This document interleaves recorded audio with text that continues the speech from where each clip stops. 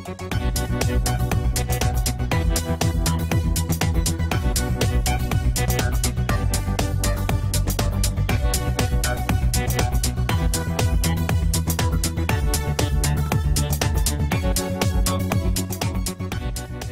started about, three, about three years ago. Um, the idea was really born out of uh, frustrations that myself and co-founders had working in uh, laboratories, myself in UCD and my, my uh, our co-founders in, in other laboratories in, in, in Cork and also abroad. And the main frustration for us was uh, how we made decisions about the materials we used as experimental scientists and also how when we encountered problems uh, how, how challenging it was to actually find information to, to, to, troubleshoot those experiments.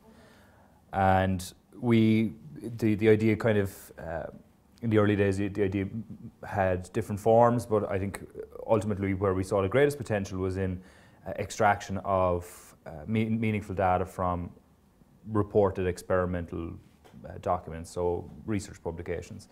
Uh, and that was really where we focus technically, you know, what we what we look at is is ways to get uh, qualitative data about products and materials, and also the related experimental details out of research papers. So millions of research documents, and we distill down that information into actionable data that scientists can use. The challenge we set ourselves is to to look at as much content as possible and actually make a, a search experience for scientists where they can go get information on products and see the publication record for, for, for, those same materials and products and also the optimal experimental configurations for using those products. Uh, we work with Reed Elsevier, they're uh, the biggest publisher of this type of content globally. They've got over 2,000 research uh, titles.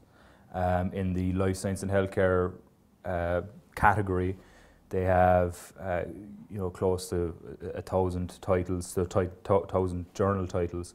So what we do is we, we look across all of those research articles within those titles and we mine those that information for for for you know the qualitative data that we need to provide a, a, a, superior search experience for scientists. Really what we're about is is making what is normally very fragmented information structured and actionable for a specific use case. Our use case is uh, planning experiments and solving experimental problems. Uh, that information at the moment is locked within content.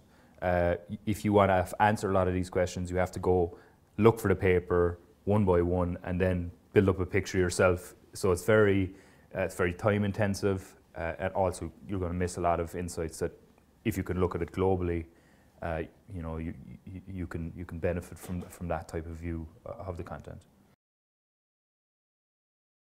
We're based right now in Dogpatch Labs on Barrow Street.